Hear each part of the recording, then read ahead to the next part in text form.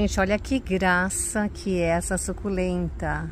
Essa Echeveria já de Butterfly.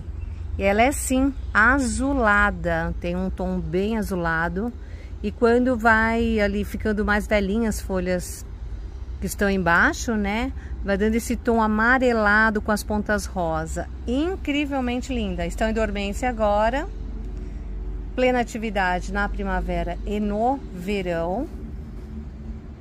Então, vai fazer rega? Faz lá embaixo no substrato. Agora tá frio, não seca direito, então não vai deixar reguinha parada ali na roseta, né? Então, para você que gosta de suculenta azulada, excelente opção. Beijos!